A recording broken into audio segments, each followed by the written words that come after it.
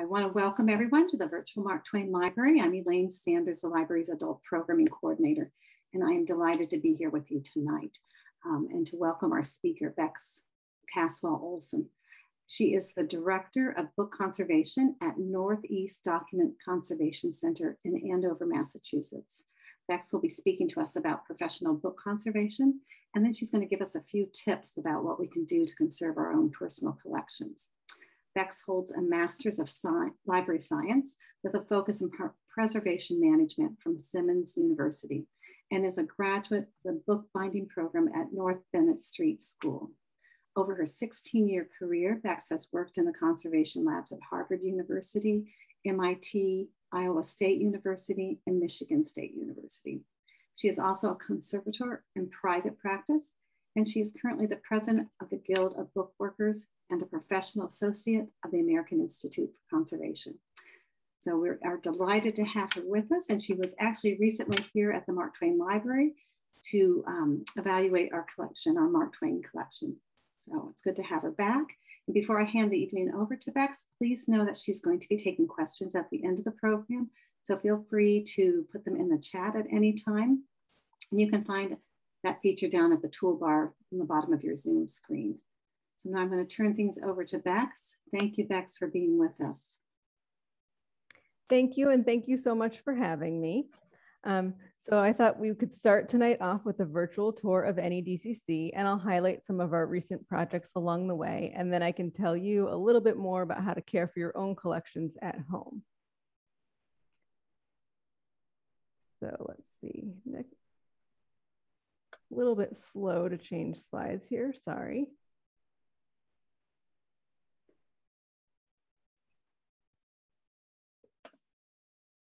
There we go. So a little bit about NEDCC, um, or also Northeast Document Conservation Center, NEDCC for short. We are a nonprofit organization that provides conservation and preservation services to clients really across the nation. Although at, when we were founded in 1973, our intent was just to serve the New England area. Um, we were the first independent conservation lab that is to say not affiliated with an institution that specialized in the preservation of paper and film-based collections.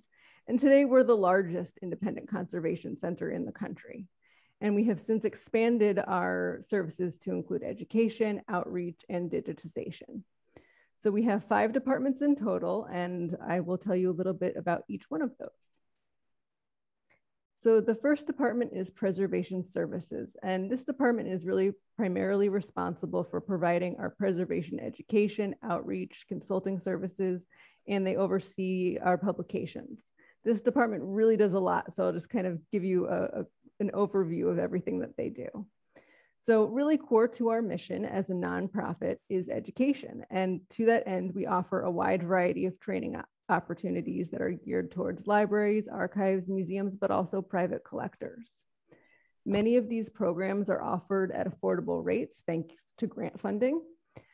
And um, another fantastic thing is that if you are a certified archivist, you can earn professional development credits or archival recertification credits through the Academy of Cer Certified Archivists for a lot of our, our programs, both in person and online. So when it's possible to do so, we have a, a we do hold in-person workshops on things like disaster planning, emergency preparedness, um, framing and photograph preservation. But more recently, we, we have really been focused on our virtual training programs, and we have both live and recorded on-demand sessions, as well as um, some self-paced online instruction the, the course that's been around the longest is Preservation 101, and that's the one that most people know, but we also have some courses on AV preservation and photograph preservation. And once a year, and sometimes twice a year, we will do an in-person conference, although this year it was virtual. Um, and we'll be doing that again in November. It's called Digital Directions. Um, and I would encourage you to check out our, our training calendar online. There's a lot of really great things happening. So another thing that our preservation service department handles is assessments and consultation. And so we have a variety of different assessment types that we offer. um, kind of to suit various needs. And I'm not going to go into a lot of detail, um, and I would encourage you to check out our website if that's something of interest to you. But all of the assessments would result in uh, a site visit and a written report, and it could give you advice on a wide variety of topics. If one of our structured assessments does not meet an institution's needs, we can basically tailor a consultation to whatever something, a topic of, of particular interest or surrounding preservation. So that might be um, exhibit practices or planning for a renovation and move, uh, planning for new storage space, something like that. We can really, really tailor it directly to you. We also have a number of free resources on our website that I would also definitely say, please go take a look at. The ones I want to highlight today are preservation leaflets. And this is a really great series. It used to be a print publication, but now it's all online. Um, and these are technical leaflets, but they're written kind of with a general audience in mind so that on things like, again, emergency planning, um, temperature, environmental controls, how to safely exhibit your collections, how to protect things from light damage, etc. The other thing I'll, I'll, mention quickly, and I'll share a link to it in a little bit, is there's a page specifically on caring for private and family collections that I think is a really, really useful page to know about. And last but not least, um, we offer expert advice and, and mainly that comes in the form of, we have essentially like a preservation reference service. So if anyone has a question, they can call or email us and that service is supported by a grant from the National Endowment for the Humanities. We do also have a 24 7 emergency help hotline. And so, if your institution or your personal collection is struck by disaster, a flood, a leak, a fire, and you don't know what to do, you can call us any time of day or night. And while we don't provide disaster response services, we can put you in touch with someone who does and kind of walk you through what your, your first steps are. So that was preservation services. Um, let me tell you a little bit about our audio preservation department. So our audio preservation department was established in 2014, so it is our, it is our newest department. And we provide preservation reformatting or digitization for preservation for a variety of different audio formats, only some of which I have listed here. And we really specialize in formats that are either rare or obsolete and thus require special equipment or materials that are too damaged or too fragile to be played using traditional methods. And so maybe you're saying, well, if you can't play it using a traditional method, how on earth are you going to digitize it? Great question. We are so incredibly lucky to have the IRENE lab. And now IRENE is an acronym, not a person, and it stands for Image, Reconstruct, Erase, Noise, Etc. And this is a machine, and we actually have two now, that was developed by a physicist at UC Berkeley in conjunction with NEDCC. And essentially what it does is it uses a confocal microscope to take an image of a piece of grooved media. And then from that image file, we can correct that file and turn that into an audio file, which is pretty amazing, I think. Um, so in this example shown here, here's a broken lacquer disc. Lacquer discs, they look a lot like LPs, but they're a little different and they are very brittle. And when they break, obviously, you're not gonna be able to play that with a stylus. So it would, a disc that's broken like this would give you an image like that wavy line you can see those grooves are no longer lined up so that we have some software that helps with tracking, but it's not perfect. And so a person does need to go and manually adjust to realign that, and then we can create that audio file. And here's just another example. This is a delaminating lacquer disc, and this is a very unfortunate and common problem with lacquer discs. And obviously that's something that you would not be able to play with a stylus. And so this is really the only way we can get audio off of that type of media when it's in this condition. So that's kind of the long and the short of IRENE. If you wanted, if you had more tech, technical questions, I would direct you to our director of audio preservation. That's definitely not my area of expertise. Um, but in addition to IRENE, we do have two tape labs, although we do things besides tapes. And this is where we primarily do magnetic media, but some other stylus transfers that can be done with a stylus. Um, and all of our audio services are one-to-one -one fully attended transfers. And so what that means is that one audio technician is digitizing one tape or one piece of media at a time, and they're listening to it fully in real time while they're doing it. And so this is Carl here, and he's at his workstation. And the advantage of doing this is, you know, again, we're specializing in things that are fragile. Maybe they can only be played once before they're too deteriorated to play again. So you want to make sure that you're getting the best possible sound file from that transfer if this is your one and only chance. So by having someone listen and mon mo monitor for problems, you can be sure that that transfer is 100% faithful and accurate. And here's just another view of Carl's workstation with some of his different equipment for tapes and um, stylus and computer. Uh, again, if you had more specific questions, I would have you talk to somebody in the audio department.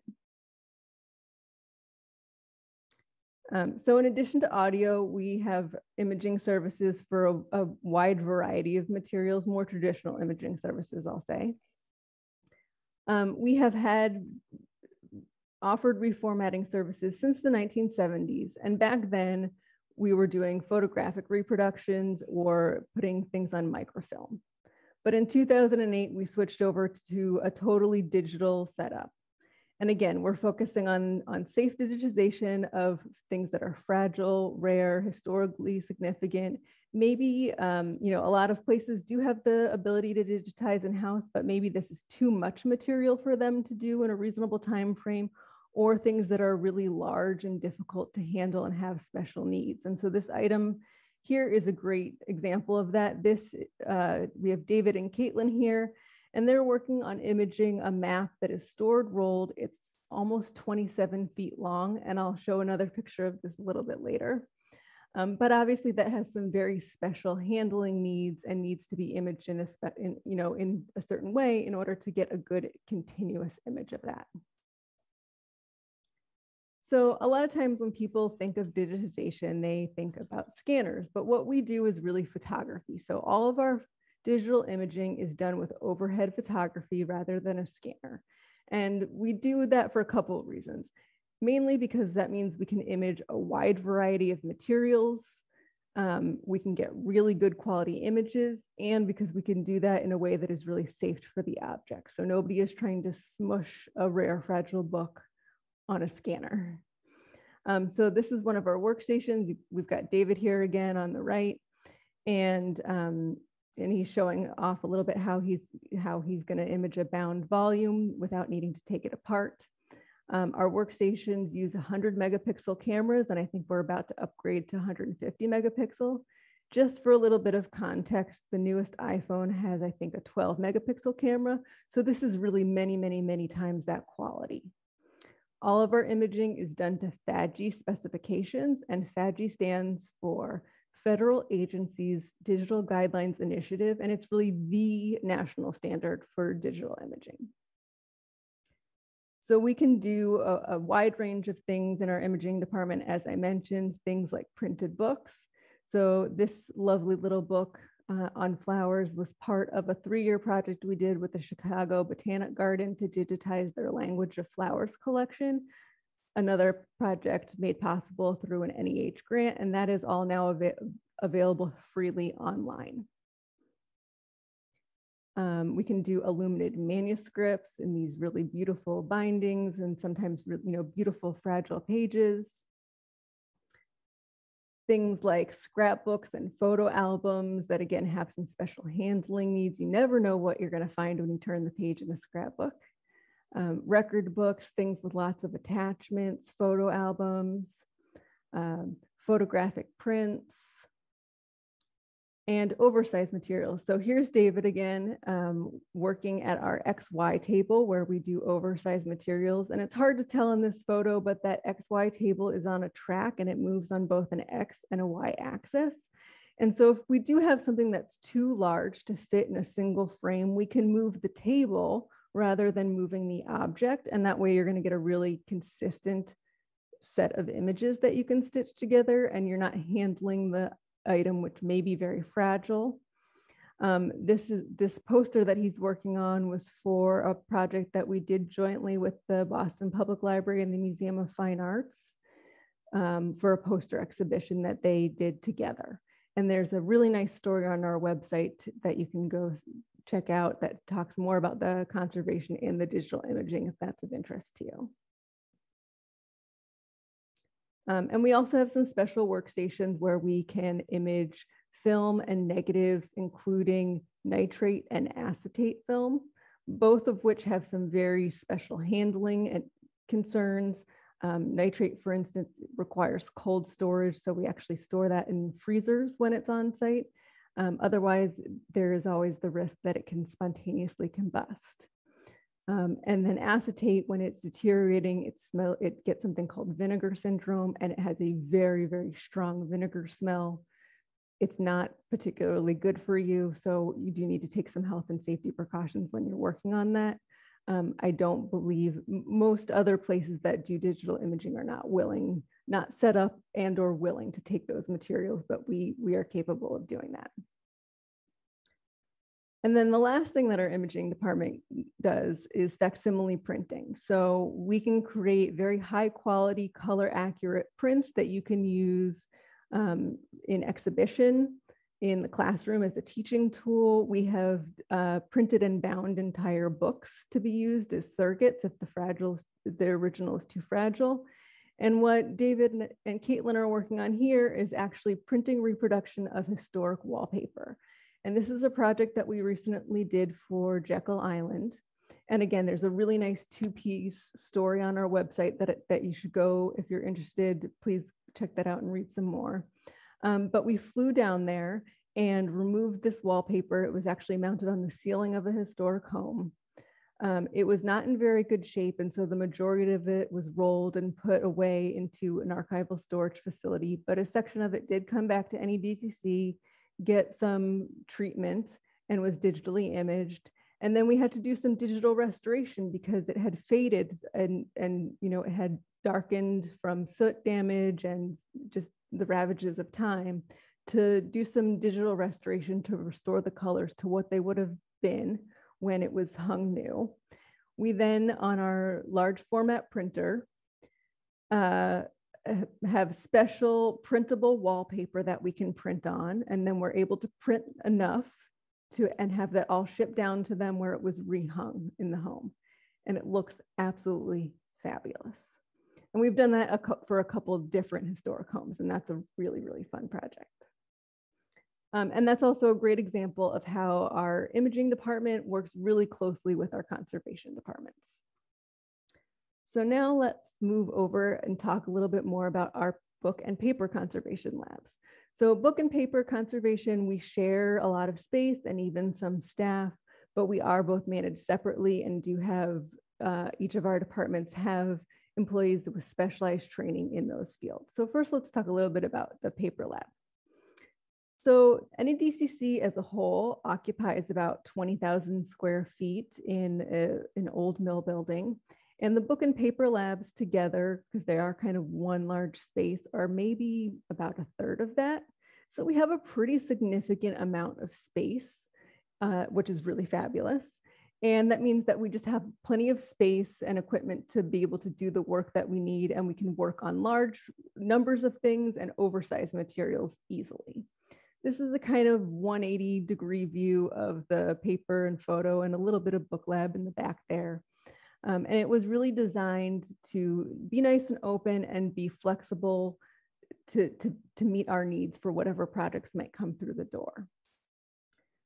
Some of the specialized equipment that we have that again is shared between book and paper. Um, up in the top left there, we have Suzanne working in a fume hood. And so she is doing that right now.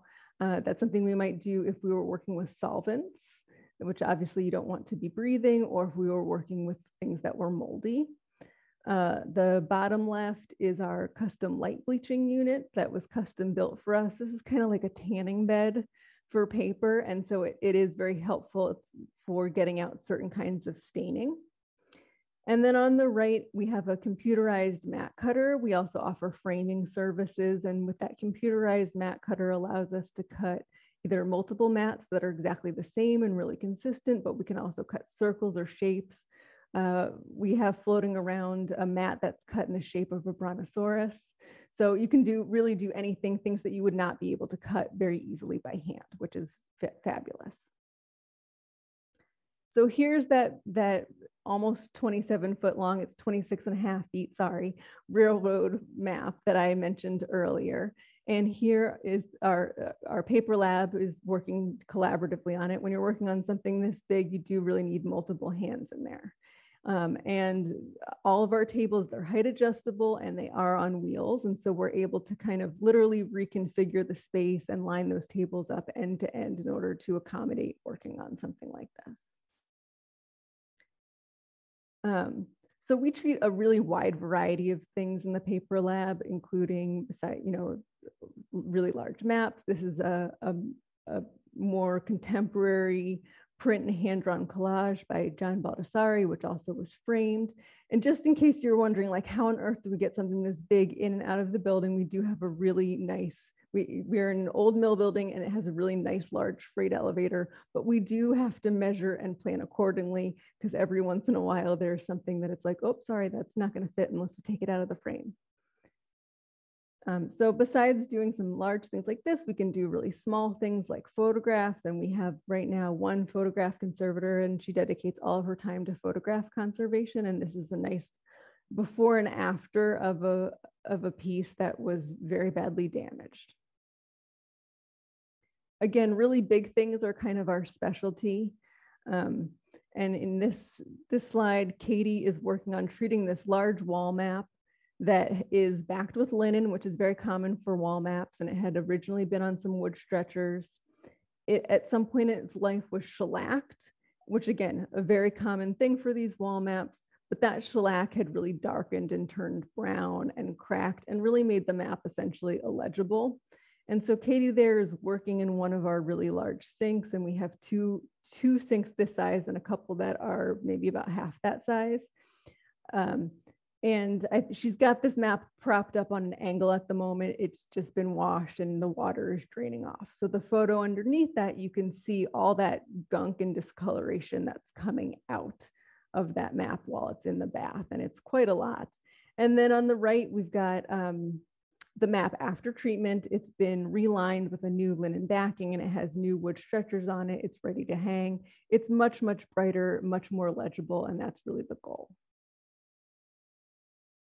So not everything is huge, I promise. Um, you know, some of the other things that we do, we do a lot of work on are blueprints and other architectural drawings. A lot of times these get rolled up and stored away, and then they get damaged as a result of that. And so this is a blueprint that came in, it was humidified, flattened, and mended. Um, blueprints and other architectural drawings do tend to be light sensitive. They also tend to be on very thin, fragile paper, and they're also pH sensitive. So they need just a little bit more and different care than other paper objects. Um, here's a globe that we treated. And so globes, you, you know, it's not a flat paper, but the surface is paper. The, the, the globe itself is like a wood and paper mache core and then has the map adhered on top. And again, this is one that had been shellacked, had darkened, had cracked, and it also had some insect damage and all of that was, was treated. And then something that's not a paper or photograph, but that we treat in the paper lab nonetheless, is parchment or vellum. Um, so there are lots of historic documents like this indenture that were written on parchment and then they're folded up usually pretty tightly parchment, when you fold it, it does not like to be unfolded. It likes to stay that way. Those creases are very, very deep. Um, and it did not lay flat. This particular item also has, you can see there's some uh, wax seals kind of hanging off the bottom. And this is something that the museum that owns it wanted to be able to frame it and hang it for exhibition. And it is uh, on exhibition right now, I believe. Um, and so those seals being heavy were a concern. So this was flattened, cleaned a little bit, there wasn't too much that could be done in that area.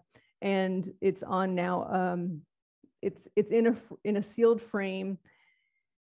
I'm trying to figure out how to explain this, but um, basically it's, it's sort of stitched, although not through the parchment itself, but it's got something attached to the back that then is stitched to help keep it flat under tension so that it stays flat and it also is supporting those wax seals so that they're not gonna, the weight is not gonna damage it while it's on display. And we're working on a story about this right now and it should be going up any day now. Um, and then last but not least, the Paper Lab does offer framing services. And this is Anna Jean, our preparator, showing off some of her work. So when things come to us for treatment, um, it is possible for us to have them framed and returned ready to go on display, whether that's in a museum or in someone's home. Um, so here's a kind of parting shot of the paper lab, and you can see um, we have this nice long wall of windows that are north facing. Uh, it's, it's, it's very pleasant to get some daylight and we're up on the fourth floor. And so, uh, well, one great thing is we can see the highway very clearly. So you know, oh gosh, I better leave now. Traffic's gonna be terrible. But, but it's also, we get to see some really nice sunsets and just having natural light is really useful. And the, the, the book conservation lab is kind of the back towards the left. So let's walk over to the book lab and this is really my domain. And so here is the book lab. I'll, I'll, admit this picture does not look as fancy and glossy as the paper lab, even though it really is, I promise you, the same room. And that's partly my photo skills.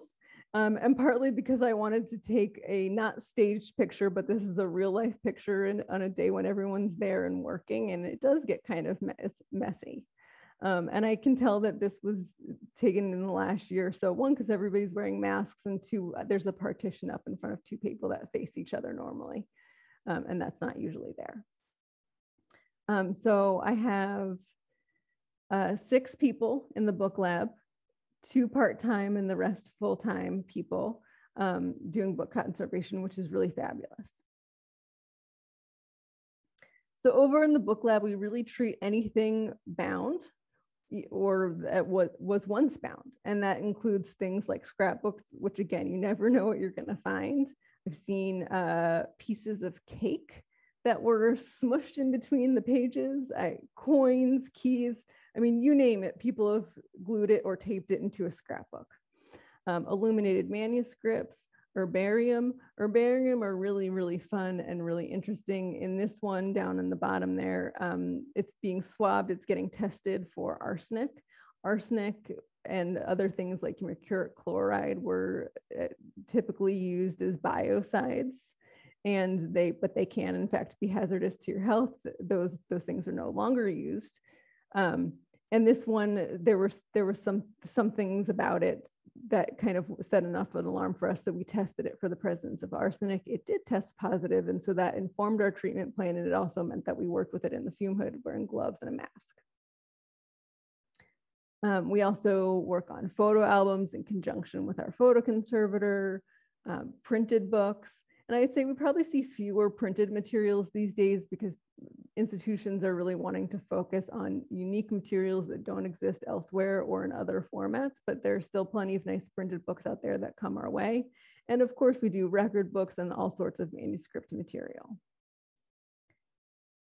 Just to name a few. Um, I never know exactly what, what I'm gonna get to see at work, which is really fun. So while I don't have time to go into a ton of detail, I just wanted to quickly show you some before and after shots of some projects that we've recently worked on. So for us, the goal of conservation is to improve the usability or long-term stability of an item while maintaining as much of the original as possible.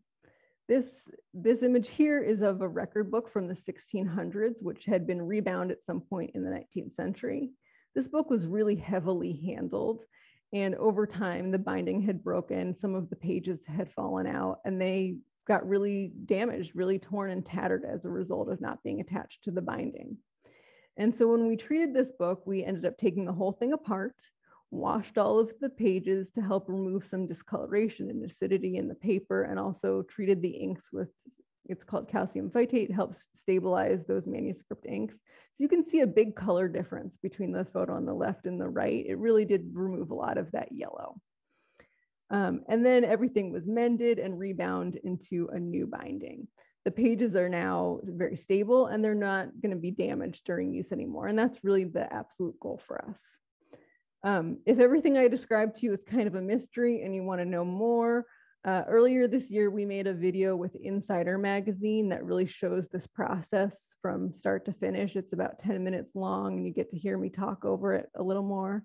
Um, and you can probably find that on our, certainly on YouTube, if you look for how an 1850s record book is conserved or something like that, you will definitely find it. And I'm sure it's on our website as well at nedcc.org slash videos. So next, next, next one. Oh, this is really, was a really fun project for me. Um, so this is a book from the 1500s. It's, it is a printed book. And at some point in its life in the 19th century, it was rebound into a, a hardcover vellum binding, which was a, a really typical binding of that time period.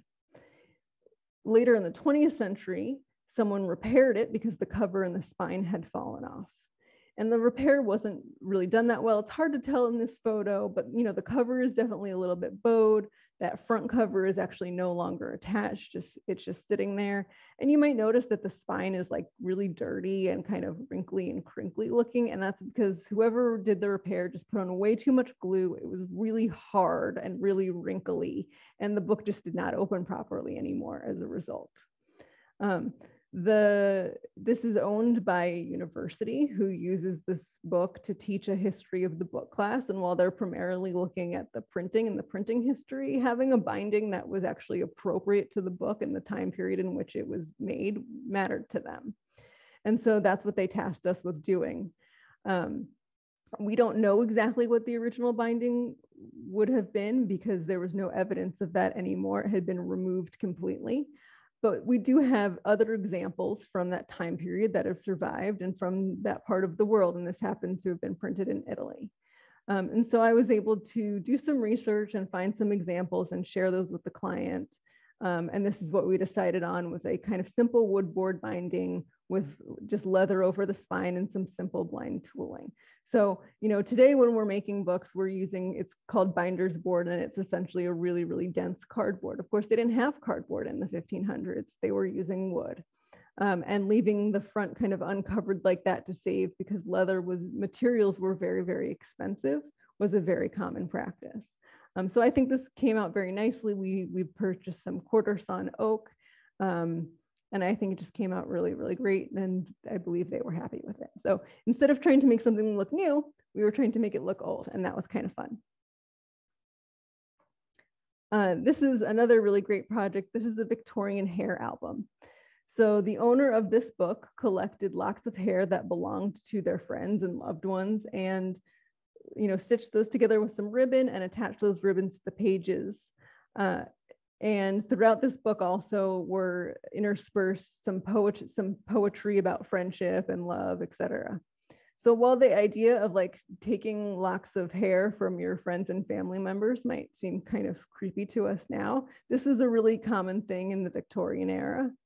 Um, but it, this did not stand up so well over time. So the sil silk does not typically um, it, it is not a lasting material, sadly. It becomes really brittle. The ribbons had broken, the locks of hair were all loose and kind of scattered, and they had become really like damaged and kind of frizzy as a result, um, and disassociated with their captions. Um, so Mary worked on this, and there's a textile conservator who's right down the road from us in Andover who gave us some advice and, and some supplies. And we use a, technique that's commonly used in textile conservation where we stitched the locks of hair to a very fine netting and then cut away so you can't see the netting. It's really basically invisible and, and it was done with something called hair silk that, that really just blends in and you really cannot see it at all from the front. It's fabulous. Um, and then the ribbons were mended and things were reattached where possible. I think there's at least one piece that could not be reattached. Um, so this was a really fascinating story. There's lots more to it. Also trying to figure out based on stain patterns where the different locks of hair went. And again, this is one, there's a really nice story on our website um, that I would definitely encourage you to go, go check out if you wanna learn more. So while all of that might sound really fun and interesting and glamorous, I would have to say not all of our work is so glamorous that a lot of it can be really messy and gross. There's a surprising amount of uh, you know, crawling around uh, in library basements, vacuuming mold and bugs. And uh, doing other things like tape removal, which is definitely not glamorous, it's very tedious and using strong solvents and it's not terribly fun. So in this photo, Katie and Jess are actually working on moving, removing cellulose acetate lamination, uh, which was something that was popular up really through the 60s. And they have to do that in a pretty strong solvent bath. That is definitely not something that you want to be breathing. So they're doing that not only in the fume hood, but wearing half face respirators. So everyone at NEDCC every year is fit tested for a respirator. And then we all also undergo chemical hygiene and chemical safety training every single year. Um, so not always glamorous, but definitely necessary. So now that I've given you some info about how we care for your collections, let me give you a little bit of information about how you can care for your own collections at home. So I had mentioned earlier, I was going to share a link with you on our website about uh, caring for private and family collections. And so that's up at the top there. And that's probably going to say everything I'm going to say, but maybe a little slower. Um, and so please, please take a look at that. When it comes to caring for your collections, I think the very best thing that you can do is to store it in a good environment. So I'm going to say location, location, location please avoid you know keeping materials that are of value to you whether that's monetary value or or personal value in places like your attic your basement your garage your crawl space. And the reason for that is those those areas of our homes tend not to have heating or air conditioning and that they are more likely to be places that will get wet if it's raining if you have a storm if there's a flood or a leak and your materials will be damaged as a result temperature and humidity that great big fluctuations it's not great for paper but it's really really pretty much certain death for things like photographs and audiovisual material. The best environment is around 70 degrees preferably less and less than 55% humidity. You can have a little bit of fluctuation you just don't want it to be 70 degrees one day and 40 degrees the next day kind of like regular new england weather. Um, and so, you know, again, those attics, garages, crawl spaces do tend to be more damp, more humid, and dampness can lead to a variety of problems besides just water damage, including things like foxing. So foxing appears as these like rusty colored, brown, rusty colored spots in paper. It's a lot of times it is confused with mold, but it's not mold. And the way you can tell is mold will be on the paper, whereas foxing is really going to be in the paper is the best way I could describe that. Um, it is very disfiguring, and for the most part, it's not reversible. There are potential, uh, with the caveat that potentially there are things that you can do for works of art on paper, like I, the, the light bleaching station that I showed. Um, but to do that for an entire book would just be so cost prohibitive and time consuming that it's absolutely totally impractical. Uh, mold, of course, is a big problem in, in these in a damp area like your basement. Um, and mold is, it can leave stains that are permanent. Those really cannot be removed. And the other thing, when mold is growing, it produces enzymes that actually digest paper, leather, cloth, really any organic material that it's growing on, it will digest as it grows. Um, and just can be incredibly damaging. I do not have time to go into a lot of depth about how to salvage wet or moldy materials, but so I have a whole lot of links on this page for you that you can find. Their most our preservation leaflets. Section three on emergency management has a couple of different resources related to this. And then I we do also have a YouTube video, again, if you're not sick of my voice yet, where I will walk you step by, by step through how to vacuum a moldy book.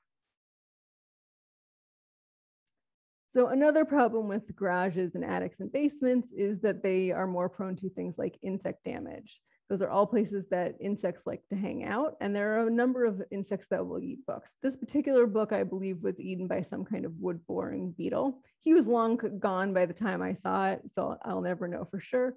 But things like cockroaches, silverfish, book lice, and also um, case making clothes moths love the cloth in hardcover books.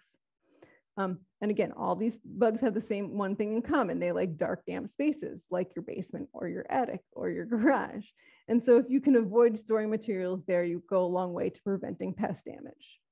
The other thing I would recommend for just things that are in your regular living space is regular dusting and vacuuming is also gonna go a long way to keep insect populations down.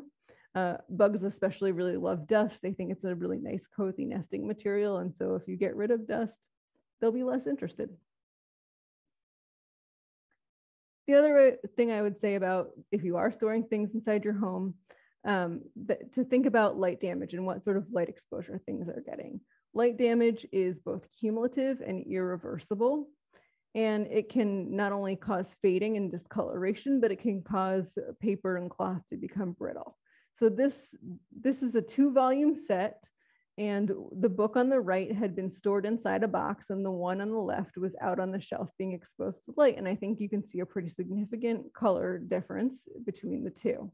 And they were, you know, right next to each other. Um, so if you do have things that are getting direct, you know, uh, you don't want direct sunlight. And for things that maybe you have framed hanging in your home, it's not a bad idea to think about rotating those periodically. You know, give give some of your artwork or your photographs a rest and share something else, just, just like museums do it.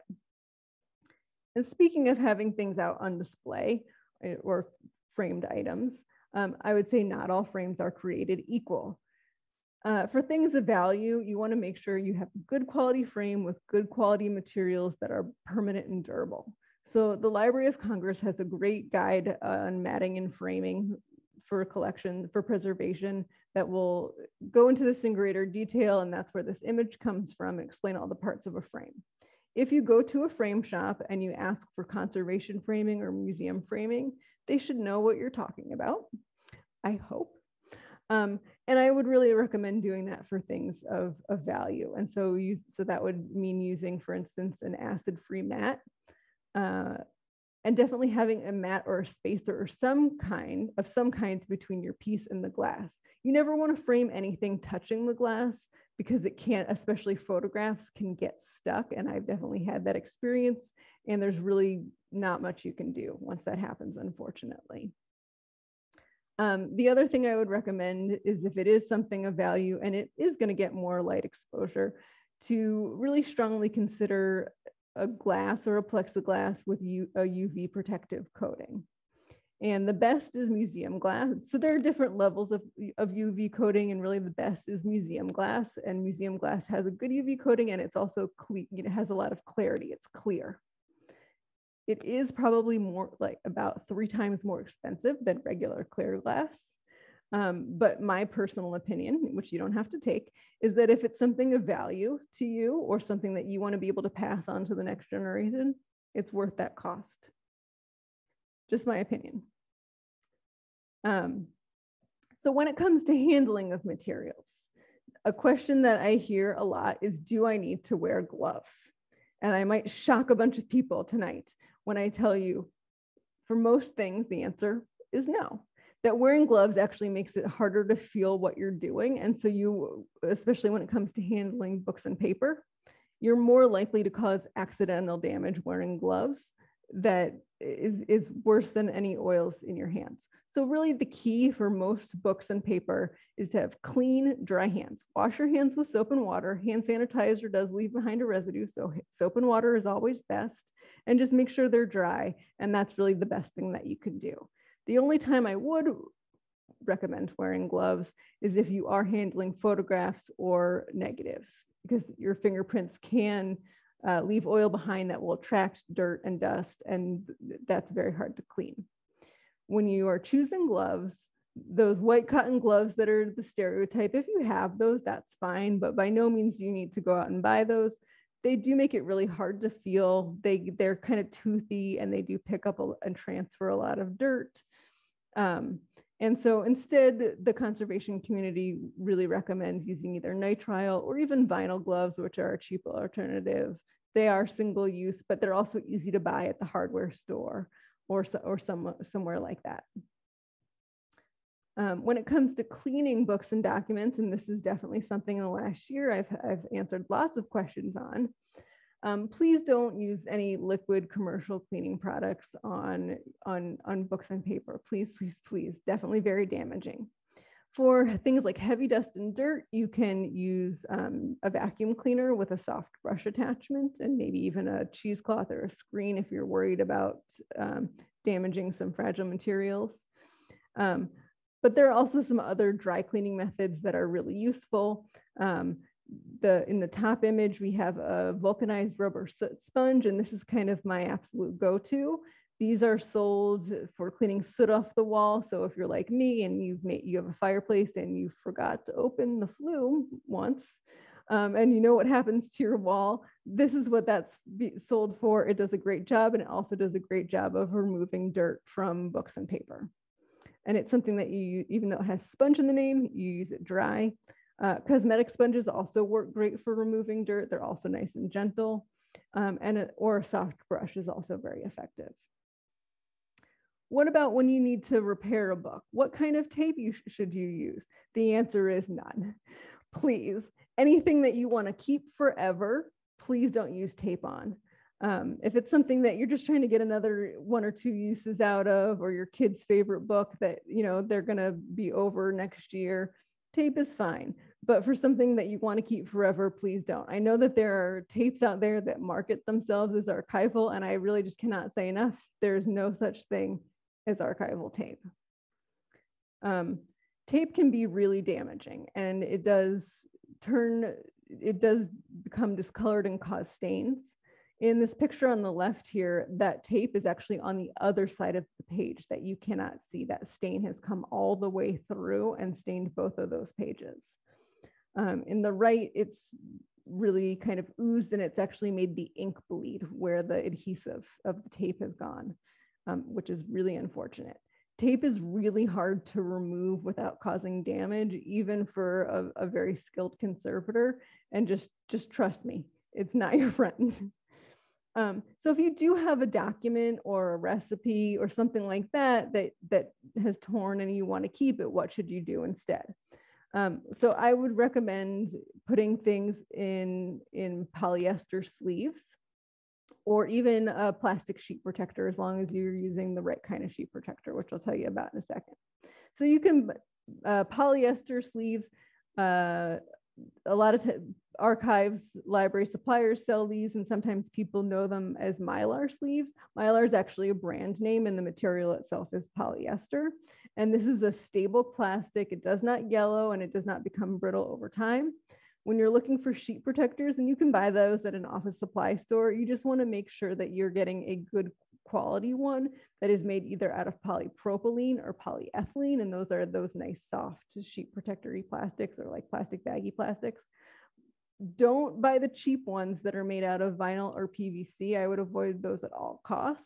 Those do off gas, they will degrade your materials, they will turn yellow, they will get brittle and yucky. And then I would say, you know, uh, do it yourself repairs very rarely a good idea, especially if it's something of value. Um, in that case, I would recommend looking for, you know, finding a professional conservator, and there are a lot of fantastic people around. Um, we do have a preservation leaflet called Choosing and Working with a Conservator that just tells you a little bit about what you want to look for when you're shopping around for a conservator and what the process of working with them is like. And then the American Institute for Conservation has a Find a Conservator tool that has um, only lists conservators who are professional associates of their organization. Um, who, and to become a professional associate, you ha basically have to submit a portfolio and be vetted by your peers. So someone that you know is reputable, in other words. So that was a lot of information and I'm very happy to take some questions at this point. And I've got contact information up on the screen and you're very welcome to call or email us if you think of something at a, at a later date also. Thanks. Thank you so much. This was a fascinating tour um, of your facilities and what you can do. I know we have lots of book lovers in our audience tonight, many of them who are our um, wonderful book fair volunteers and they've been um, sending many good words of thanks for your program this evening. Um, we do have a few questions and um, wanting to know, is there, can book storage ever be too dry? That is a great question. So yes, actually, um, if it's too dry, that can dry your materials out and make them brittle. But when we're talking about too dry, we're talking about for sustained periods of time. Um, and, you know, typically we would say maybe 35% humidity is kind of the bottom, but I know that in New England in the winter, that's very, very, very, very difficult to achieve unless you're humidifying your space. To have it properly. Um, I'm going to ask everyone, we have so many people tonight. If you'd please put your questions in our chat function, that would be I do. helpful. Pardon me? That would be helpful. Thank you. Sorry, Bexx, did I? No, it's okay. I have. And we also, um, somebody would like to know And sell. about your guidance in regards to bo- Brodart covers and Brodart. Broad art covers. Um, Brodart is I, I like Brodart as a company. They have two different kinds of book jacket covers, and there's one that is marketed as archival. And yes, I do like that one. The other one, I, I don't know what the material is, and so um, I never like anything if I don't know what it's made out of. Understand. Thank you. Um, any suggestions to remove odors from books? Oh, I'm so glad that you asked. I actually have one more slide in here, if I can bring it up, because I had a feeling that was a question I would get asked because it is something I get asked a lot. Um, so for musty smells, one book books and paper will absorb smells around them. And so if it's been stored somewhere musty it will smell musty. So the first thing is get it out of the musty area and somewhere that has some good airflow to air out. Um, the next thing is that you can put that item in a box with some odor absorbing material. And there's all sorts of different products out there. This Nature's Miracle charcoal filters, those are actually by the pet store and they're to go in a cat litter box. Um, and the air sponge is something you can get at a hardware store. In both cases, you don't want that odor absorbing material to come in contact with your item. You just want it to be in the box with it. Um, and you can kind of put the lid on, set it and forget it for a couple days or weeks while that odor absorber is doing its thing. If you check on it and it's still smelly and the odor absorber, you pull that filter out and it really smells musty, throw that out, put a new one in and repeat. This is something that does take patience. It does not happen overnight. It, it is a process, but it is very effective if you can be patient. Thank you. Great tip. Um, also, how can you remove photos from acidic albums and how to keep the photos from cupping? That is a good question.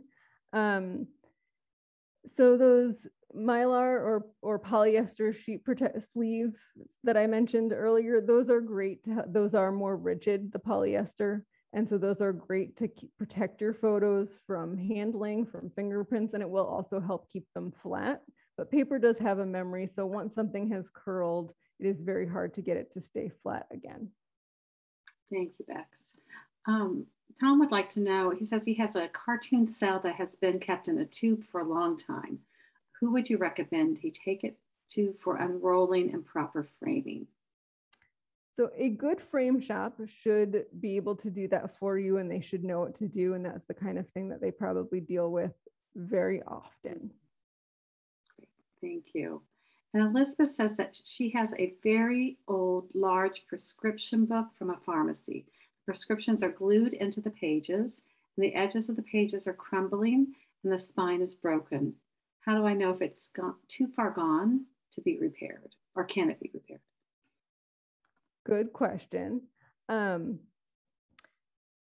there's too far gone and there's too expensive to repair i guess that's my that's my real honest answer um, but without kind of knowing a little bit more about it and being able to see some pictures, I don't know if I can give you a great answer, but if you wanted to email me, um, I'd be happy to take a look and give you my opinion.